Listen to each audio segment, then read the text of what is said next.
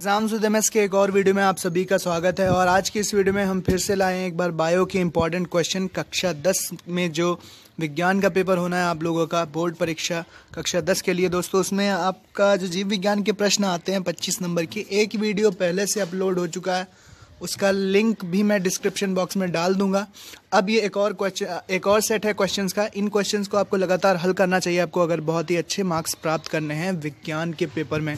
दोस्तों, चलिए शुरू कर लेते हैं आज के अपने इस वीडियो को। तो दोस्तों, यहाँ पर सबसे पहले बहुविकल्पी प्रश्न सेक्शन सी में पूछा जाता है जीव विज्ञान। सबसे पहले भौतिक विज्ञान, फिर रसायन विज्ञान, फिर जीव विज्ञान। तो सेक्शन सी में जो जीव विज्ञान पूछा जाता है, सबसे पहला हमारा बहुविकल्पीय प्रश्न है, यकृत स्रावित करता है? क्या श्रावित करता है यकृत? आपको बताना है, इसमें लार श्रावित करता है या जठर रस या फिर पित्त रस या आग्नेय रस? दूसरा प्रश्न है, हमारा पतझड़ से संबंधित हार्मोन्स कौन सा है? ऑक्सिन है या जिब्रेलिन है या एप्सिक अम्ल है या एथिलीन है? तीसरा बहुविकल्पी प्रश्न है, पराग नली में नर युग्मकों की संख्या कितनी होती है? आपको बताना है, एक, दो, तीन या आठ। नेक्स्ट हमारा बहुविकल्पी प्रश्न कुछ इस तरह से है। कि एक द्विसंकर का दर्श प्रारूप, यानी कि जो फिनोटाइप होता है, वो क्या होगा?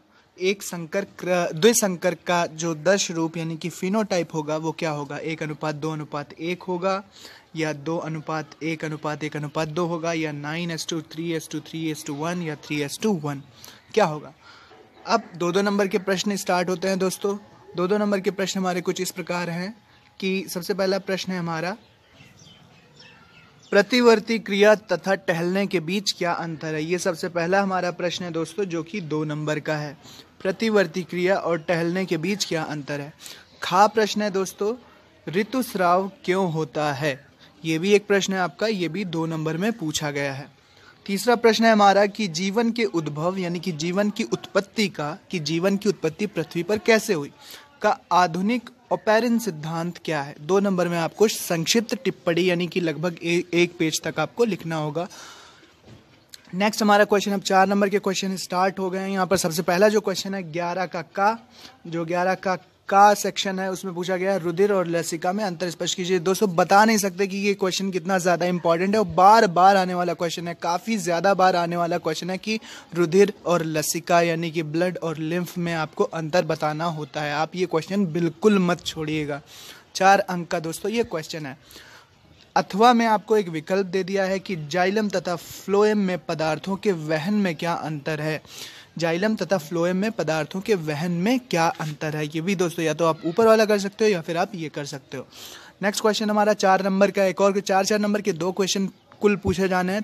दो दो नंबर के तीन क्वेश्चन पूछे जाने हैं। और चार आपसे बहुविकल्पी प्रश्न पूछे जाने हैं।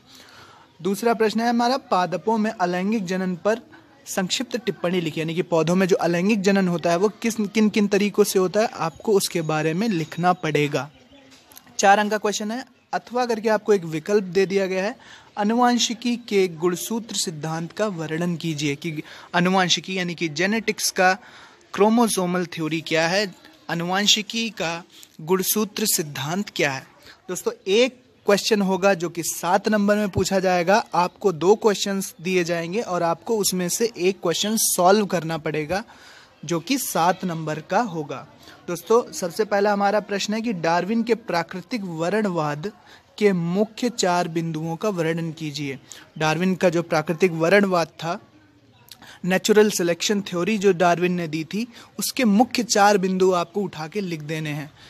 ये सात अंक का प्रश्न है। अथवा आपको एक विकल्प दे दिया गया है कि बीजों के अंकुरण तथा उनके अंकुरण के प्रकारों को उदाहरण, उदाहरणों सहित लिखिए। या फिर आप ये वाला क्वेश्चन करो या फिर आप ये वाला क्वेश्चन करो। दोस्तों सात नंबर का एक लॉन्ग आंसर टाइप क्वेश्चन होगा जीव विज्ञान वाले पार्ट में।